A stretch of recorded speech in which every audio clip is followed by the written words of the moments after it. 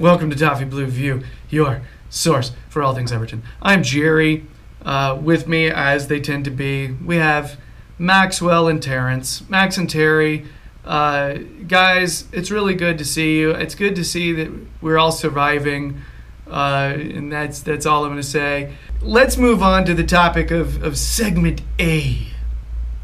Exhibit A. Uh, we are going to be uh, checking out. We're gonna we got to talk about uh, we got to talk about the captain uh, who is who is leaving.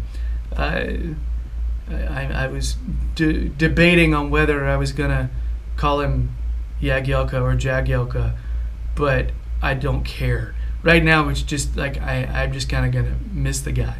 You know, um, my I told my six year old son, hey man, number six is heading out. All right, Jagielka's peacing out, man. He's like, where's he going? I'm like, I don't know yet. Maybe Sheffield United. I don't know. But uh, yeah, uh, who's going to be captain? Well, uh, that's a long conversation, and we're going to talk about that in another segment. But guys, there's a there is going to be a hole, uh, a hole in the club. Uh, just, uh, just I just want to spit out some Jagielka facts really quick, and then I'm going to give the floor to you guys. You guys have a little bit. You've had more time with with him and I want to talk to you about your memories, best memories about about him, what we're missing from him going forward, all that stuff. Okay. Um, apparently, at 15 years of age, started his career with Sheffield United. We knew that, but he started mainly playing as a center mid, which I thought was interesting. Um, helped them get to the top flight in 06 07, and then he promptly joined Everton in uh, on July 4th of 2007. Uh, highest ever amount play, paid uh, played for paid for a Sheffield player of four million pounds. Uh, he became a legit first team player in the 08 08 09 season. I think his first season. It was a lot of you know, struggling, trying to adapt and everything. And then uh, after that, he did his ACL in February 2010, uh, which I can tell you is, is the kind of thing that can really derail. Um, and that was against Sporting in Europa League. Uh, but then uh, came back 2013, signed a new contract, and Moyes said, This guy's our captain. All right, that same year. Uh, and then wasn't too long after that when uh, you know he's been he was our captain ever since. he even remained the captain when Roberto came in. All right. Uh, uh, he, he was in the uh, England 2014 World Cup squad, and uh, yeah, he's the most capped Everton player for England. Okay, uh, so I want to shift over the floor to you guys because this guy's just had a, a monster career at the club. Um, I'm going to start with Terry because I've been kind of going to Max first early on. So let's go with Terry. You want to talk about your Jags memories? Anything particular stick out, or just you just want to rant about Jags? I want to give you guys the floor to just do what you need to do. He's been a, he's been a great servant at the club, hasn't he? I mean, it is it is time the right time for him to go because at this point, I think a lot of players can stay a little bit too long and they can sour. Like some people would even suggest that he he stayed a little bit too long from his point of view because he's come out the team and he hasn't been a fixture, you know, for a, at least last season, possibly some of the season before. And he's, you know, he deserves to go out, you know, end his career playing regularly, which, you know, fair enough. As an Everton player, though, he, he has been, for the most part of his time here, a massive, massive player for the club. Uh, there's some, you know, a lot of people play, you know, the obvious moment. Um, where he hit that rasper against Liverpool, like uh, one of the you know best um, modern derby goals, not for the significance of the goal or the you know the results and all that, which you know by the by the act just the goal in isolation, like to hit a strike like that away at Anfield as an Everton player, centre back in the 91st minute, whatever it was, brilliant. But the two, the, I, have got bittersweet memories of, of Jags really because there's two things I think of. I think of, and it's from more or less from the same season, is when he scored the penalty to send us through to the cup final. Not the fact that he'd done it, but the fact that um, he missed one in the in the UEFA Cup Europa League. I'm not sure which one it was then. Mm. I think the UEFA Cup against Fiorentina. Not long before that, um, and it was a, it took some big, you know some big cojones to step up, step up and and you know to shoulder that pressure. It, it was a captain's moment. It was like you need, you know, a lot of players might have buckled under that, going, "No, I don't want to, you know, put myself in this position again." But then, at the same time, we were just so unlucky that same season. At that point, Jagielka was in the form of his career. He was our leader at the back. He was the he'd formed an unbelievable partnership with um, Joleon Lescott, and I think it was his best partnership at the club. It, you know, he had another one with Sylvain Distin, which was good, but I honestly think Jagielka and Lescott are our best Premier League centre back pair to date as a straight pair. And went into that final and we didn't have Jagielka. We didn't have a few other players as well, but I think even if you just add Jagielka into that team, I think we win that final. And uh, it's always been a case of what if for me with that final because, you know, Chelsea beat us, but we were missing some of our key players and he was one of the main ones. So mm-hmm.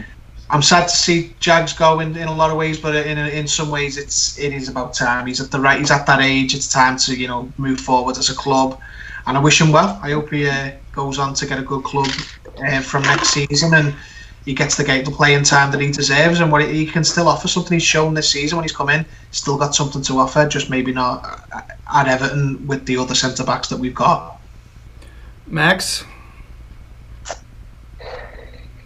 well earlier on, I'd say, obviously the 2008-2009 season, he I think he won the, the Player of the Season and the Fan Player of the Season. And as as uh, Teddy said, Whit Lescott, absolutely phenomenal. I think at the time I was only young. I remember when he first signed, he got the number 16 shirt. I got him printed on the back of a number 16 on the back of a shirt. And when he moved to number six, I even got him printed on the season after. I know, um, I know. Obviously, we got knocked out. Of it, we got beaten in the final.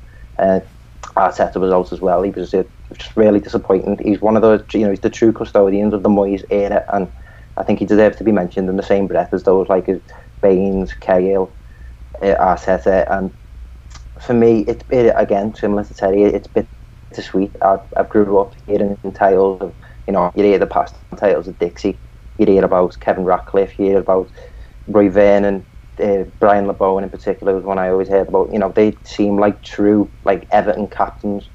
Um, having Phil Neville, obviously, and then they got passed on to Phil Jagielka, while the likes of Chelsea have got Terry and Lampard, Liverpool have obviously got Gerrard, Man United have got Scholes, Neville.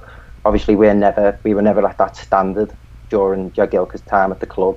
But in, in that sense, it is quite bittersweet that he was our leader throughout that time. You know, he without a doubt, I'd argue I'd probably say John Stones is the best centre half that I've seen at the club in recent years, but certainly second best to that, Phil Jagielka.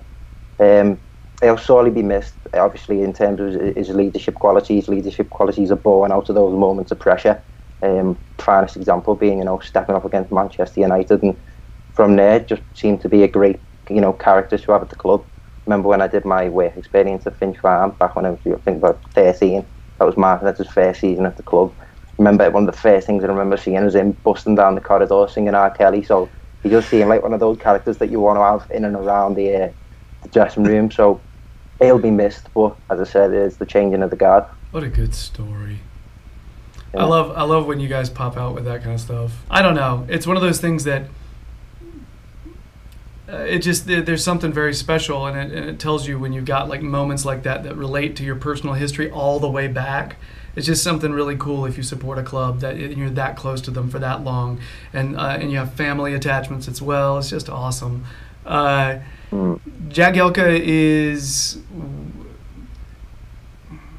when I first started supporting Everton, I looked at a few players and I said, they're good examples of, of the club. They're good examples of players who speak for the club. When they talk, it seems like what they're saying is representative of, of the club as a whole and their just overall mm. attitude. I look at Jagielka, he's professional. You know, I, I, I, I, my Jagielka moment, the obvious one is that that amazing volley, you know, at Anfield. But but you know what? You know what I like, what I, I because I think that's cliche for me. You know what I mean? Because that was that was in a draw. What I actually think yeah. for me just epitomized his professionalism was this season. You know what I mean? I look at this season. Look at the mm. fact that he filled in and he wasn't playing for long stretches. And then when he fills in, he does amazing. He has one bad game because he played back to back.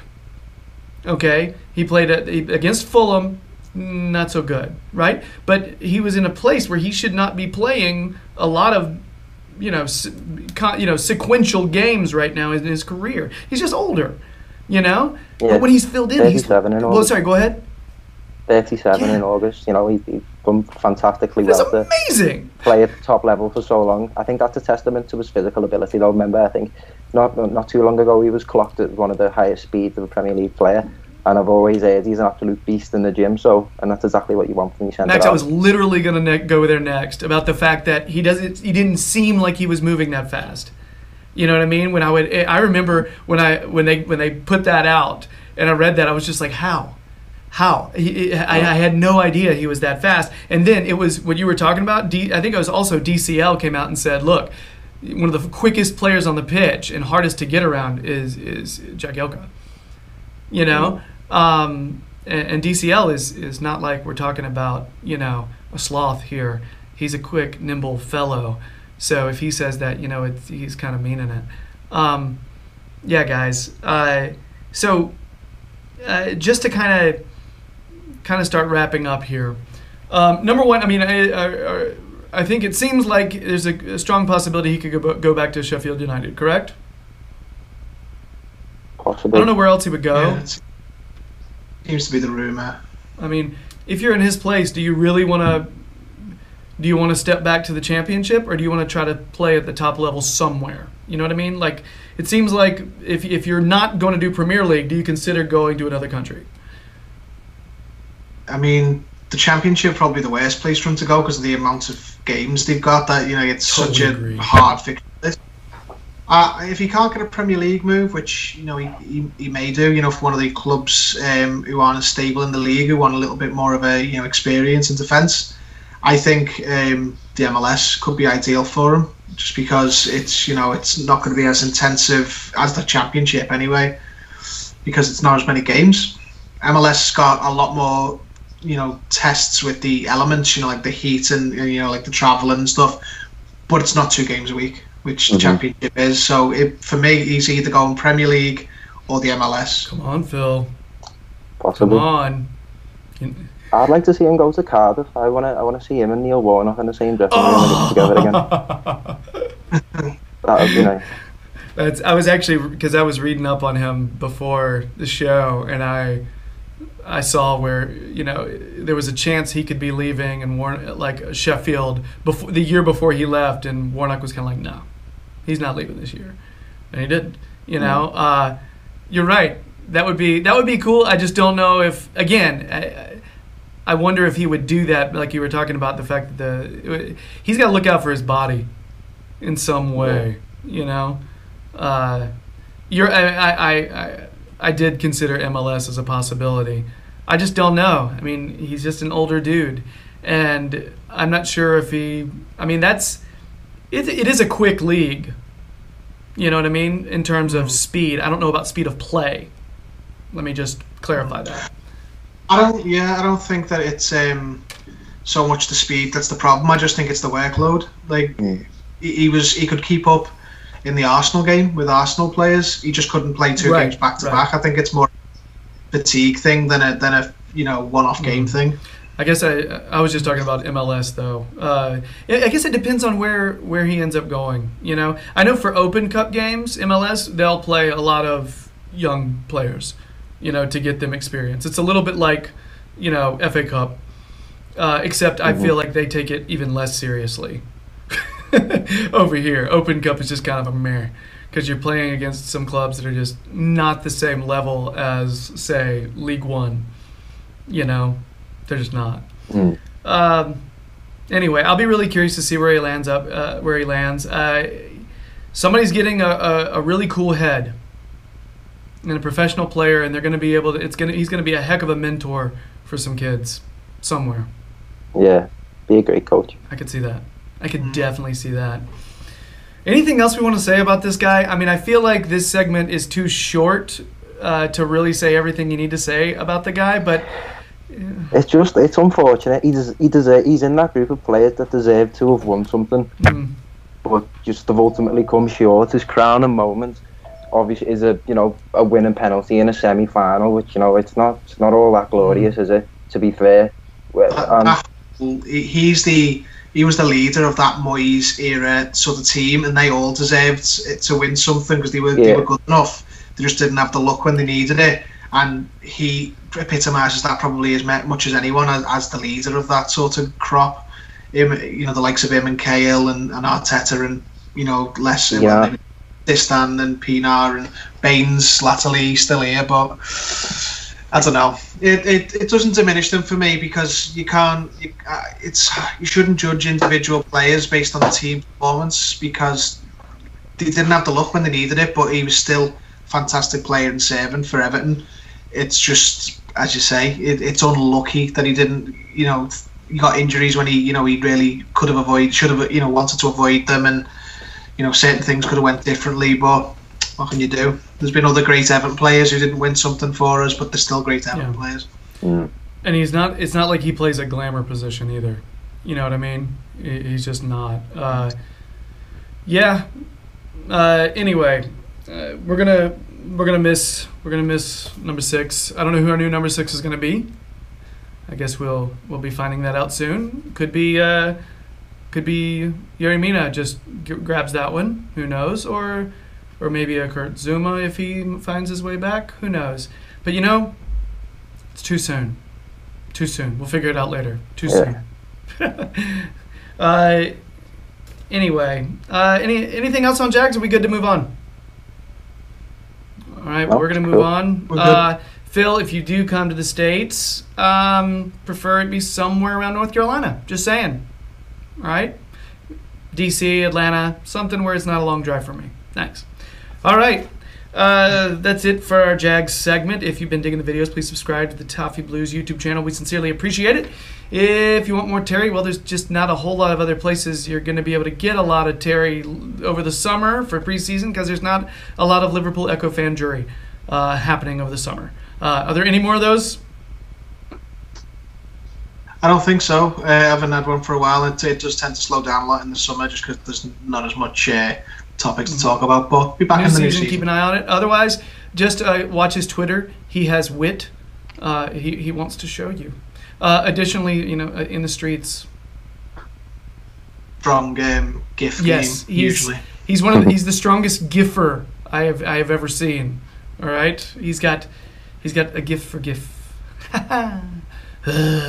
All right, so so Max, uh, you need to follow Max. Keep an eye on his Twitter. He'll tell you when and where he's going to be. He uh, he puts out a lot of content.